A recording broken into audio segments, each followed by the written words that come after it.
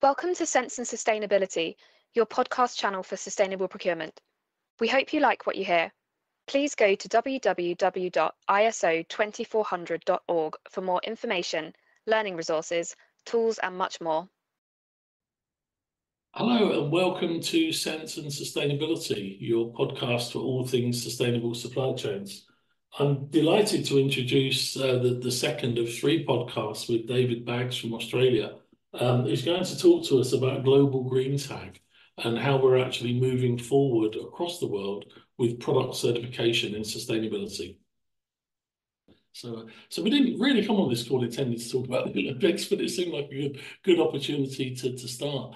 So tell me a little more about Green Tag, because when we had our initial conversation, you know, that there seems to be a growing interest in EPDs, and particularly in the United States, that we've seen quite recently, and, and you know, a little bit in Europe. But from what you were saying to me, you kind of go beyond EPDs, don't you? There's lots of features of uh, of Green Tag. Could you tell me a little more about it? Yeah, well, I mean, uh, uh, underlying everything, we are uh, an eco label basically. We run an eco labeling program with a variety of different kinds of services and an environmental product declaration program op operator. And we do EPDs as well. But uh, as we've come to understand, particularly with the increasing focus on circular economy, there is a a need to take life cycle analysis beyond damage and impact assessment.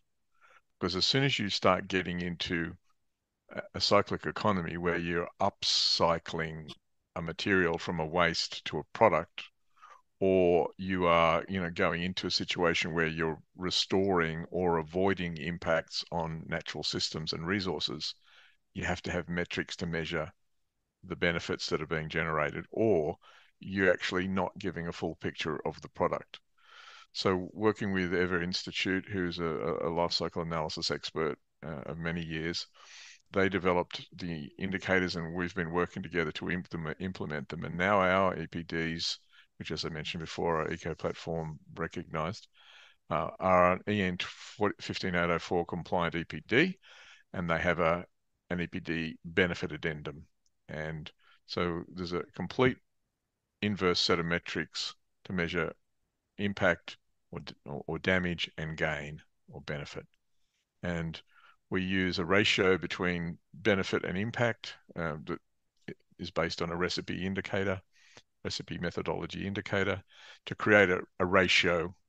And if the benefit is bigger than the impact, then we actually are moving towards a, a nature positive outcome. If impact is bigger than benefit, then it's a it's a take level product. But you know, as part of that process, we've also then realized, well, look, hang on, the circular economy needs a whole lot of different metrics. It's not just about uh, impacts on nature. It's actually about circularity of the resources, circularity of water, climate impacts, biodiversity impacts. Um, it's about um, the social benefit, uh, ethical supply chains, modern slavery.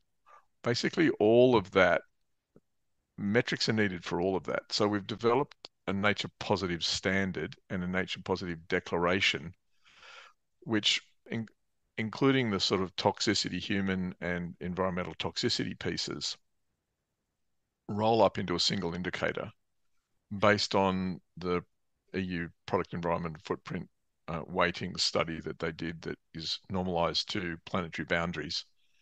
And we can uh, give a single indicator and a bronze, silver, gold, or platinum sort of nature positive rating, which tracks 105, 110, 120, or 150 or 150 plus nature positive outcomes, or a, a single sheet that has a single sort of glance of all of the indicators on a, sort of center line left negative in red, right positive in green for each of the uh, nine indicators, or a 45 page transparency report with every metric you'll ever want for a product, uh, we believe, hopefully, every metric you'd ever want for a product included. And that's all sort of now rolled up in a in a uh, in a service that allows an assessment process for a manufacturer to figure out what their distance to target, or for us to figure out, and for them to understand what they want to do with it, uh, a distance to target, where they're at to where they need to be to go net positive. And from a net positive point of view, we're not necessarily saying, you know, equal to equal biodiversity. We're actually saying, well, no, you're having this global impact on environment. Somewhere in the world, you need to have a positive impact, hopefully where your factories are, but not necessarily.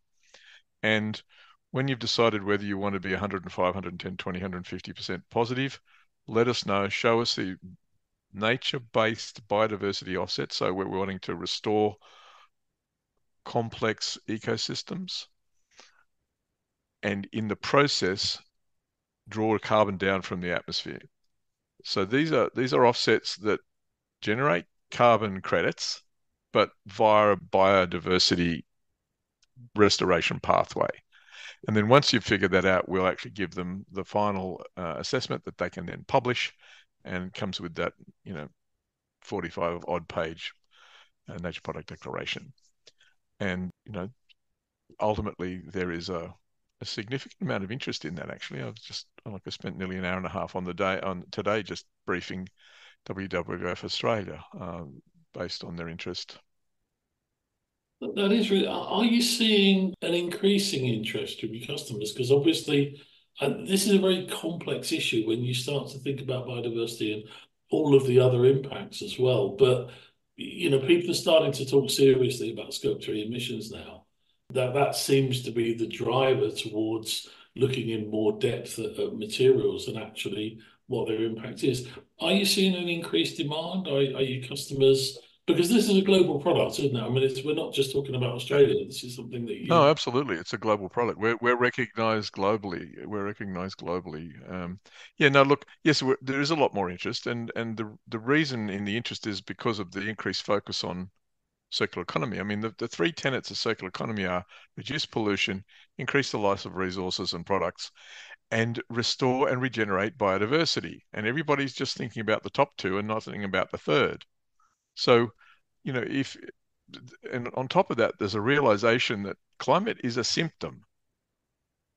Yeah biodiversity is and, and, and a reduction in biodiversity is is is the major problem apart from reducing emissions that we can all do and that is feeding and underpinning uh, you know the, the, climate problem so if we have an impact on biodiversity uh, it helps us it helps the ecosystems it helps other you know living creatures but it also reduces climate impacts so it's it's a win-win and it's working at the cause level not the symptom level and you know, you've got the, the, the biodiversity convention that 190 countries, including Australia and the UK, just signed up to. Well, most of the most of the countries on the planet signed up to to restoring 30% of biodiversity by 2050. And, you know that um, you've got massive, you know, UN level nature positive policies a, a massive change in focus towards these sort of natural systems outcomes.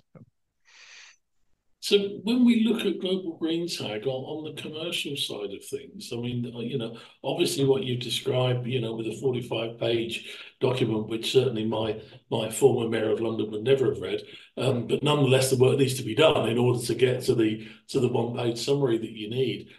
Who pays? How does the commercial model work for that? Yeah, it's a good it's a good question. I mean, ultimately, what we're doing and where the interest in this product has come from is those people who are working in the circular economy who realize that they're not getting recognized for all the good work they're doing. It's those people that are making the net zero commitments and are already, you know, sort of leading the their their product sectors in in being net positive. And we don't need to do much of a tweak to those. So, you know, we have a product health declaration, which you know is a transparency report for toxicity, human and environmental toxicity, and we we take that beyond just the transparency. We take we do risk further. We do multiple level risk analysis, and we actually end up with a healthiness in use rating for that product, including asthma and allergy sensitivity claims, if that's if that's relevant, which screens for a further thousand products not being in the in in uh, ingredients not being in the product. So if a if a if a company has that has has a product health declaration and it has an EPD, we can do the rest from the data that we already have. Um, and beneficially, we can even work with third-party EPDs to to get the information from the EPD to do the analysis. We probably need a little bit more of an engagement with them if we haven't done the EPD, but we can do it from third-party EPDs. So, from a manufacturer's point of view, the information demands are not much more than they're already doing. If you've got market leaders who are already doing carbon offsetting to get to net zero, then what we're doing by measuring benefit is potentially capturing more of the good things that they're doing, which means they don't have to buy as much offsets or they can buy the same value in offsets and buy slightly more expensive ones to do the nature based offsetting solutions because we're actually capturing all of their value chain in the, in the in the metrics that we're using for the first so there's time. real value in there for the for the manufacturer. Thank you for listening to our podcast on sense and sustainability. Please listen out for more episodes. For more information, learning resources, tools, and much more content on sustainable procurement, go to www.iso2400.org.